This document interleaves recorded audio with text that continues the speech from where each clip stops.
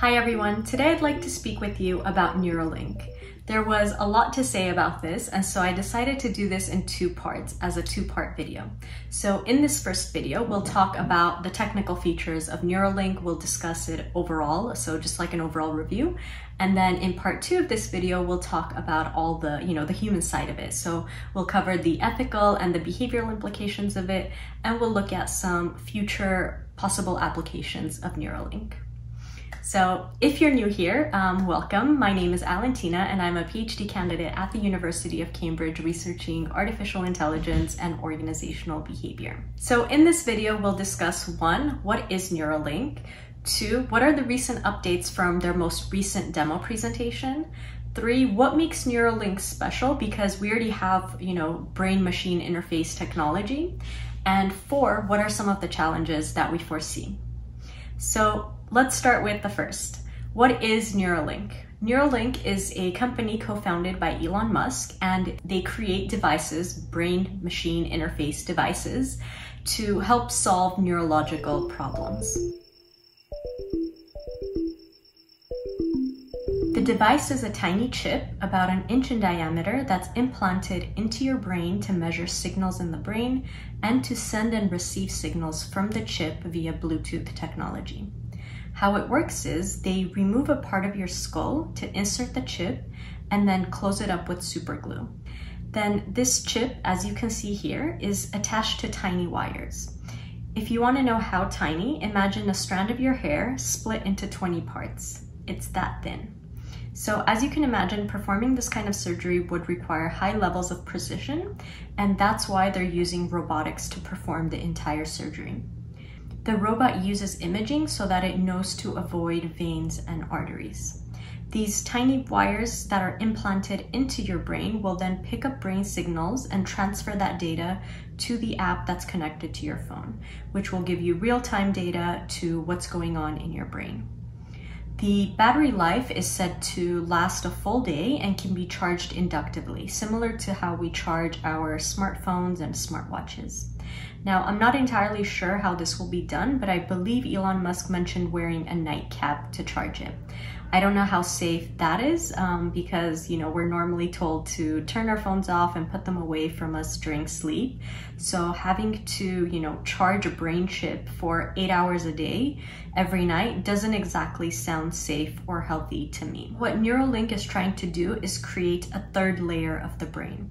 What does this even mean? We have the limbic system of the brain, which is the innermost part of the brain, often called the mammalian brain because it's the command center. It's responsible for our emotions and reactions, our fight or flight, our blood pressure and breathing, our pituitary gland, which regulates our hormones and growth and metabolism, so all that good stuff. Then the second layer of the brain is the cortex. So this is all the gray matter that hugs the limbic system. And the cortex is responsible for consciousness, language, attention, and memory. And the goal of Neuralink is to create a third layer, so one that would hug the cortex. And this would be the artificial layer that would then interface with artificial intelligence. One might argue that we already have this with our phones because so many of us are glued to our phones all day, every day. But I'd argue that it's a bit different because we have the choice to, you know, put our phones away anytime we want. Whereas if something is surgically implanted into your brain, you no longer have that freedom to leave it. It essentially it becomes a part of you, a part of who you are. Elon Musk's goal is to merge our real neural networks, so our brain, to artificial neural networks, so artificial intelligence. And this is the long-term goal um, of merging us with AI and turning us into superhumans by enhancing our senses, whether that's, you know, having infrared vision or by enhancing our memory and intelligence. But the short-term goal, the immediate goal of Neuralink is to help with neurological problems and spinal injuries. And they can do this by looking at the neural activity to strengthen the lost or weak neural connections to help with movement after paralysis or to see for somebody who may be born blind. To understand this a bit better, let's look at some of the updates from their most recent demo presentation. In this presentation, the Neuralink team brought the three little pigs that are part of the experimental study. One was the control pig, the one without the chip. Uh, the second was the pig with the brain chip. And the third was a pig who had had the chip but then had it removed so that they can understand if behavior changes from implanting the chip and then removing it two months later. Now, if you ask me, two months is too short to assess behavioral and neurological changes, and I was curious to know what the logic was behind these decisions, but I couldn't find any academic papers on their work or public interviews answering these specific questions. If anyone watching this might know, please do leave a comment below. The pig who had had the Neuralink was fed some snacks so that we can see some real-time signals, like real-time data of the pig's neural activity. So if you'll see, all those white dots are the channels being picked up by the Neuralink and then displayed on this software that's connected to it. And these are all neural spikes so that we can understand how the neurons are firing. If you're familiar with brain-computer interface technology, then you'll know that Neuralink isn't the first or only product in market today. Research on the mind-machine pathway began at UCLA in the 1970s. If you're interested, I'll link the 1973 research paper below. And if we're talking about the science of measuring brain activity, then that goes all the way back to the 1920s with EEGs. So what makes Neuralink so special? Why all this excitement? Why all this hype? Let me preface this by saying that there are there will be a lot of scientific and technical challenges ahead that we need to overcome. And not just challenges, but really scientific and engineering breakthroughs to get it to the point that we're um, hyping it up to be. So let me explain. So first, let's talk about what makes Neuralink unique. The first reason is that this device contains 1,024 electrode channels.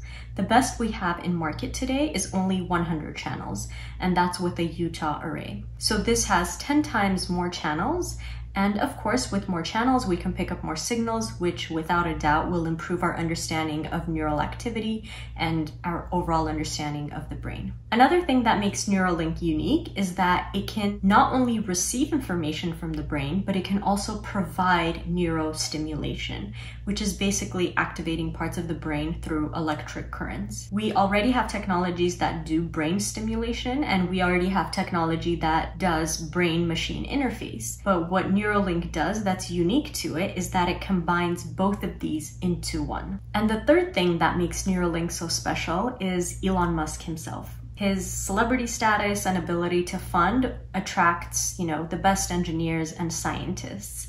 And he's essentially shortening this bridge between science and business, which is good on one hand for funding, but not so good for academic research.